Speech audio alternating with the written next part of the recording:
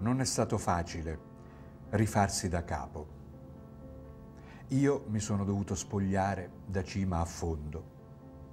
Quando un attore ha recitato per anni e anni in un genere, mettendosi addosso tutti i lenocini, tutte le maniere di una recitazione artificiosa e tradizionale, preveduta, combinata, architettata, se vuole veramente ritrovare se stesso sotto i vestiti degli altri, senza offesa alla decenza, sapete che ha da fare? S'ha da mettere nudo, come Dio l'ha fatto.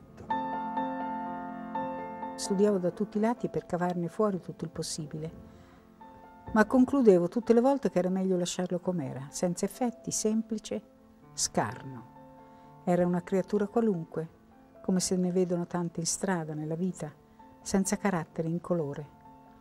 Doveva essere recitata così.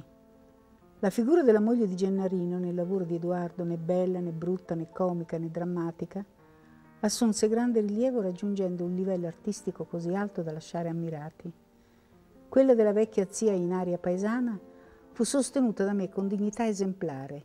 Schivavo gli effetti, recitavo con semplicità estrema rinunciando ad ogni velleità d'attrice sino all'annullamento di ogni personalità.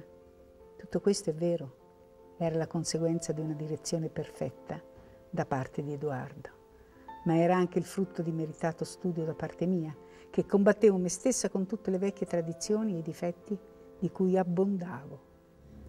E così noi abbiamo fatto. Io, sorma e fratama. Io, mia sorella e mio fratello. Nudi, nudi tutti e tre.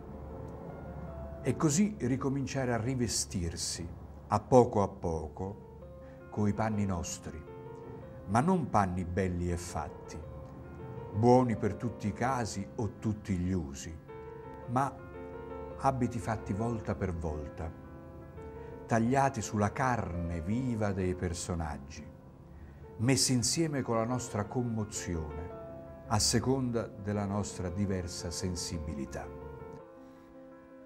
Un bel giorno Edoardo mi mandò a chiamare a casa sua. Vi andai piuttosto emozionata. C'è pure Peppino e insieme mi mettono a parte dei loro progetti. Una base di repertorio c'era, il resto si sarebbe messo su man mano. Collaborando noi tre sarebbero venute fuori certamente delle buone cose.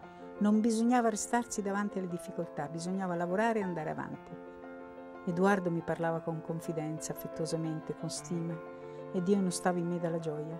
Dicevo sì, sempre sì a tutto, come eravamo giovani tutti e tre. Renato Simoni qualche tempo dopo avrebbe scritto questi tre attori che messi insieme non formano il secolo. Quanto entusiasmo leggevo nello sguardo di Edoardo e, e Peppino. Alla compagnia qualche giorno dopo alle prove Edoardo disse che dovevamo considerarci dei volontari di guerra, c'era da combattere e vincere.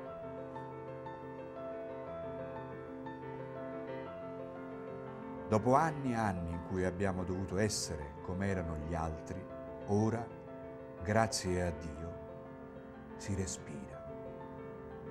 Mo si immanuia.